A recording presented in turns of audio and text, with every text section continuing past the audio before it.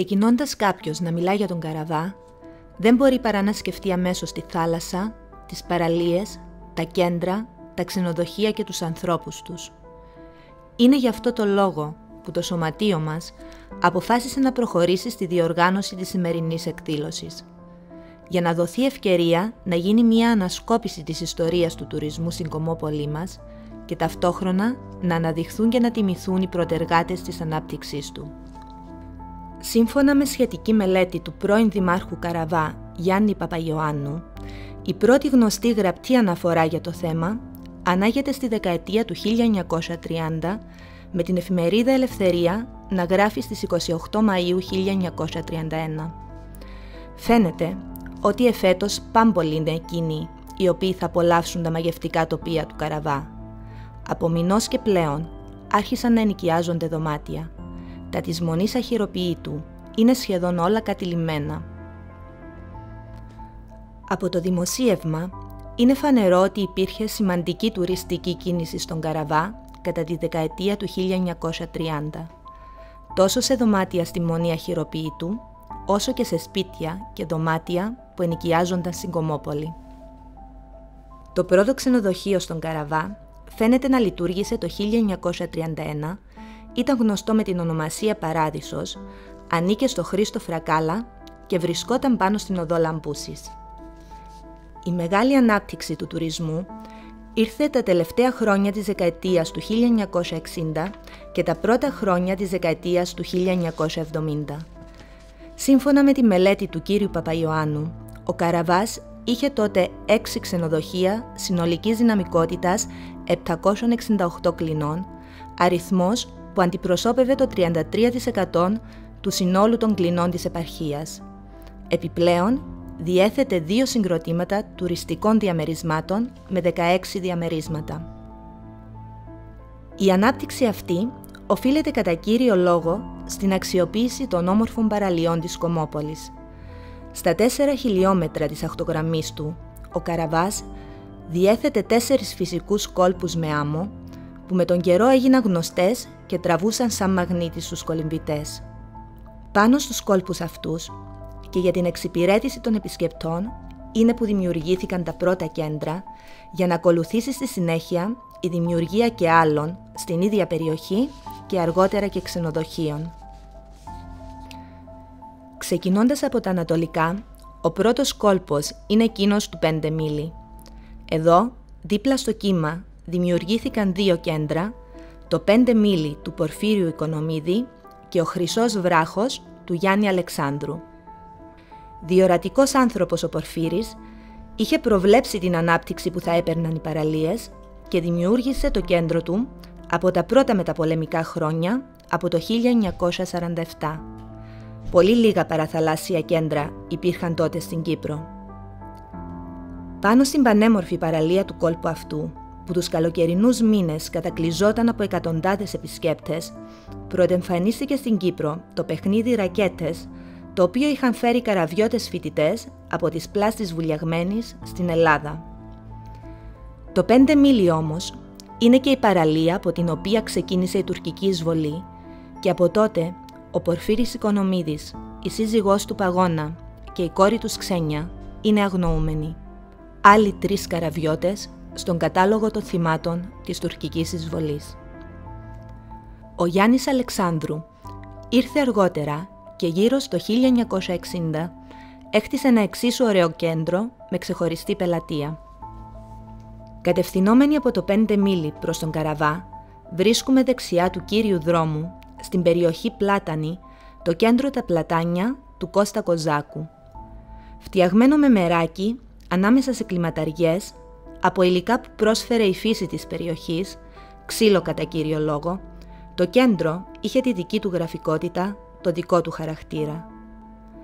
Ο Κώστας ήταν εργολάβος οικοδομών. Βλέποντας όμως την ανάπτυξη του τουρισμού, πήρε την απόφαση να αλλάξει επάγγελμα. Συνελήφθη από τους Τούρκους μαζί με τη σύζυγό του Δέσποινα την πρώτη μέρα της εισβολής και ήταν αγνοούμενος μέχρι πρόσφατα όταν ταυτοποιήθηκαν τα οστά τους με τη μέθοδο του DNA. Η κηδεία τους έγινε στην εκκλησία της Παναγίας της Παλουριώτισσας με όλες τις πρέπουσες τιμές. Προχωρώντας ανατολικά, συναντούμε το κέντρο ανεμόμυλος του Αντρέα Τσάουσι, ένα από τα πρώτα κέντρα που έφεραν την πίτσα στην Κύπρο. Ο Ανδρέας, με καταγωγή από τον Αγρό, παντρεύτηκε στον Καραβά και στη συνέχεια εγκαταστάθηκε στις Ηνωμένες Πολιτείες. Επέστρεψε στην Κύπρο και δημιούργησε αυτό το κέντρο ως βήμα επανεγκατάστασης. Δεν μπορούσε όμως να προβλέψει το πραξικόπημα και την εισβολή. Πάνω στον κόλπο του 6 μίλι, το δεύτερο από τα ανατολικά, βρίσκονται τα κέντρα ξενοδοχεία Νεράιδα με 109 κλίνες και Κλέαρχος με 48 κλίνες. Η όμορφη παραλία του 6 μίλι ήταν ιδιαίτερα δημοφιλής μεταξύ των Λευκοσιατών, οι οποίοι είτε ενοικίαζαν δωμάτια στα δύο ξενοδοχεία, είτε έρχονταν για μπάνιο το Σαββατοκυριακό, αλλά και τις καθημερινές κατά τη διάρκεια της μεσημβρινής αργίας. Πολλοί από αυτούς ρωτούν ακόμα και σήμερα σε ποια κατάσταση βρίσκονται τα δύο ξενοδοχεία. Η διοκτήτης της Νεράιδας ήταν ο Σάβας Τσάκας, ένας γενναίος άντρας, δουλευτής και σωστός οικογενειάρχης. Είχε καταταγεί ως εθελοντής στα συμμαχικά στρατεύματα κατά την περίοδο του Δευτέρου Παγκοσμίου Πολέμου. Διετέλεσε εχμάλωτος σε στρατόπεδο στη Γερμανία για τρία χρόνια. Εργαζόταν στο ξενοδοχείο μαζί με όλη του την οικογένεια. Συνελήφθη από τους Τούρκους τη δεύτερη μέρα της εισβολής μαζί με το γιο του Πανίκο. Εκτελέστηκαν και οι δύο από τους Τούρκους μαζί με άλλους δέκα κατοίκους της περιοχής μπροστά στα μάτια της γυναίκας και της κόρης του.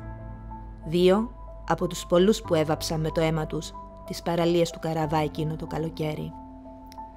Η διοκτήτης του άλλου κέντρου ξενοδοχείου στον κόλπο του 6 μίλη είναι ο κλέαρχος Λεοτσάκος. Μια πολύ γνωστή και συμπαθής στους καραβιώτες φυσιογνωμία από το πέρασμά του και από άλλα κέντρα της περιοχής. Στην περιοχή κοντά στο 6 μίλι είχε δημιουργηθεί το 1974 το συγκρότημα διαμερισμάτων Μαριάννα του Σάβα Θεοδόρου Σωρή με 12 διαμερίσματα. Είχαν τελειώσει τέσσερις μήνες πριν την εισβολή και είχαν όλα ενοικιαστεί. Στην ίδια περιοχή είχε δημιουργηθεί το 1974 και το ξενοδοχείο Σάντα Ρώσα με 34 κλίνες, το οποίο δεν λειτουργήσε καθόλου, αφού ολοκληρώθηκε μερικές μέρες πριν την εισβολή. Πιο δυτικά, δίπλα στον κύριο δρόμο, βρίσκεται το κέντρο Φοντάνα Μορόσα του Τάκη Στυλιανού. Χτισμένο σε τρία επίπεδα, με ένα πρωτότυπο αρχιτεκτονικό σχέδιο, είναι πνιγμένο στο πράσινο και οι μεγάλοι εξωτερικοί του χώροι έχουν ως στέγη τους κλάδους των λεμονιών. Ένα κέντρο ξεχωριστό, δημιούργημα της φαντασίας του νεαρού ιδιοκτήτη του, με πολύ ξεχωριστά χαρακτηριστικά. Κατηφορίζοντας το δρόμο προς τον κόλπο της περιοχής Πιδαούλια, περισσότερο γνωστό στους καραβιώτες ως ο κόλπος του Ζεφύρου, φτάνουμε στο κέντρο Ζέφυρος, το πιο γνωστό ίσως κέντρο της Κύπρου τη δεκαετία του 1950.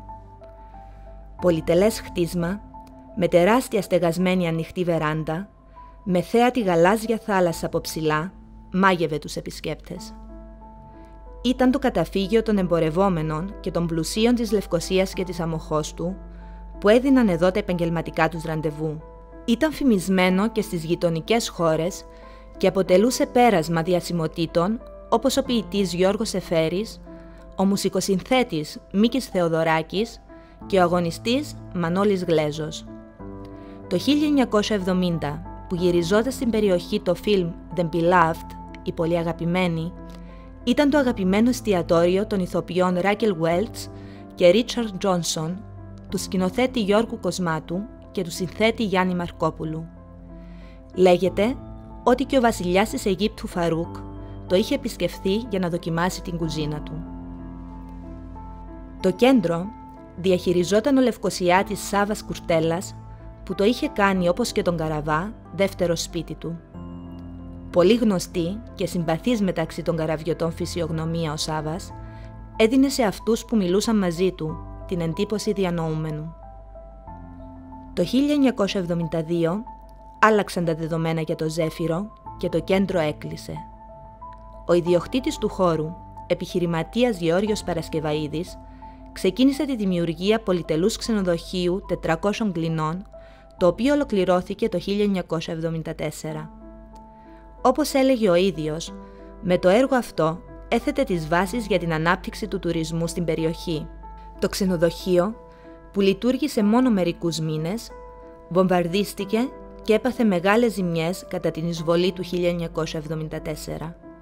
Στη θέση του, οι Τούρκοι ανοίγηραν μεγάλο ξενοδοχείο καζίνο της αλυσίδας Merit και στη συνέχεια και άλλα δύο δυτικότερα. Επανερχόμενοι στην κεντρική λεωφόρο, συναντούμε το κέντρο Churchill Garden του νεαρού επιχειρηματία Άκη Δημητρίου. Άλλος ένας καραβιώτης που μετά από χρόνια στην Αμερική δημιούργησε το κέντρο αυτό με την προοπτική της επανεγκατάστασης στην Κύπρο. Τα γεγονότα που ακολούθησαν δεν του το επέτρεψαν και αναγκάστηκε να γυρίσει στις Ηνωμένες Πολιτείες. Κατηφορίζοντας από τον κύριο δρόμο και αφού περάσουμε τον Αμερικανικό ραδιοσταθμό, φτάνουμε στον κόλπο της Μούτης. Στην πανέμορφη παραλία του έμαθαν κολύμπι πολλοί καραβιώτες αφού βρίσκεται πολύ κοντά στο κέντρο της Κομόπολης, 20 λεπτά με τα πόδια. Ο Άγγλος ηθοποιός Kenneth Moore, γνωστός από τα έργα «Βυθίσατε το Βίσμαρκ» και «Βαθιά γαλάζια θάλασσα», που παραθέριζε εδώ το 1968, έλεγε σε καραβιώτες που γνώρισε ότι είναι πολύ τυχεροί που ζούσε σε τέτοιο μέρος. Βρίσκονται μόνιμα στην εξοχή και τη θάλασσα, ενώ έχουν τις ανέσεις της πόλης. Πάνω στον κόλπο αυτό βρίσκεται το ξενοδοχείο Mare Monte με 152 κλίνες. Για χρόνια νοικιασμένο σε μεγάλους τουριστικούς οργανισμούς του εξωτερικού και μόνιμα γεμάτο τους καλοκαιρινούς μήνες. Διαχειριστής του, ο πρώην δήμαρχος Καραβά, Φιλόθεος Χατζηδαμιανού. Πάνω στο δρόμο προς το Μάρε Μόντε, πολύ κοντά στον Αμερικανικό ραδιοσταθμό, βρίσκεται το κέντρο Πράσινη Κοιλάδα του Γιάννη Στυλιανίδη, πνιγμένο πραγματικά μέσα στο πράσινο των λεμονιών, ξεχωρίζει για την ευγένεια και τη γρήγορη εξυπηρέτηση του ιδιοκτήτη του. Τα τελευταία πριν την εισβολή χρόνια, είχε δημιουργήσει πολύ καλό όνομα, με αποτέλεσμα να αποκτήσει πελατεία και από άλλες περιοχές. Ιδιαίτερη περίπτωση είναι το κέντρο Λάμπουσα του Οδυσσέα Χατζηδαμιανού, ίσως το πιο παλιό που δημιουργήθηκε στην κοινότητα. Τοποθετημένο στην ομώνυμη αχτή, μεταξύ της Μονής Αχυροποιήτου και του Ψαρολίμανου, συγκεντρώνει τόσο προσκυνητές του μοναστηριού, όσο και ψαράδες και επισκέπτες του λιμανιού.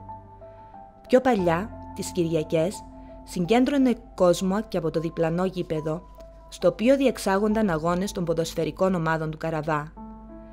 Τις μέρες του κατακλυσμού γνωρίζει μεγάλες δόξες, αφού πολλοί κόσμος έρχεται να παρακολουθήσει τους αγώνες τύβου στο διπλανό γήπεδο την Κυριακή και τους κολυμβητικούς αγώνες στη θάλασσας από κάτω τη Δευτέρα.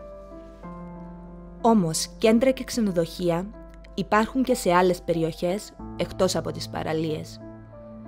Στο κέντρο του Καραβά υπάρχει το εστιατόριο ξενοδοχείο το Πάνθεον του Νικόλα Τσάμουρου με 25 κλίνες. Σε αυτό διέμεναν κυρίως επιχειρηματίες, έμποροι λεμονιών και πολλοί καθηγητές του Γυμνασίου Λαπίθου. Στο κέντρο του Καραβά, πέντε μόλις μήνες πριν την εισβολή, είχε δημιουργηθεί το συγκρότημα διαμερισμάτων του Ευτύχιου Λευκαρίτη με τέσσερα διαμερίσματα. Είχαν όλα ενοικιαστεί. Ο Ευτύχιος ήταν άλλος ένας από τους Αμερικάνους του Καραβά με πολλά χρόνια διαμονής στις Ηνωμένες Πολιτείες.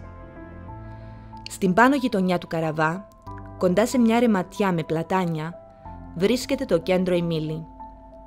Προηγουμένως, λειτουργούσε ως αλευρόμυλος και το νερό που κινούσε το μήλο συνεχίζει να περνά και μέσα από το κέντρο.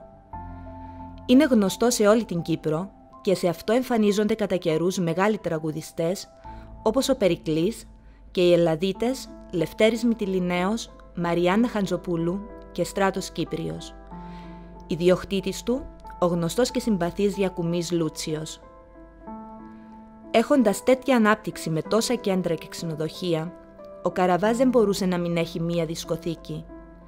Έτσι, το Δεκέμβριο του 1973, ο Αριστίδης Βαρνάβα, μετά από 13 χρόνια παραμονή στην Αγγλία, και πολύ καλός γνώσης του αντικειμένου, δημιούργησε στην πάνω γειτονιά τη δισκοθήκη Όασης.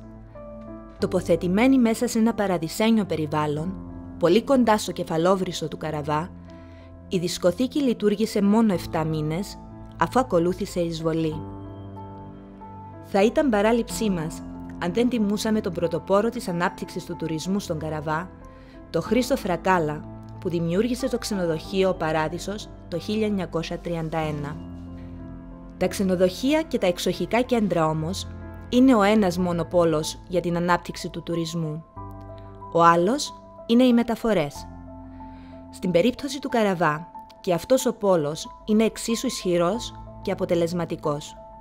Η Κομόπολη διαθέτει δύο μεγάλες εταιρείες λεωφορείων με μεγάλη ιστορία στο χώρο.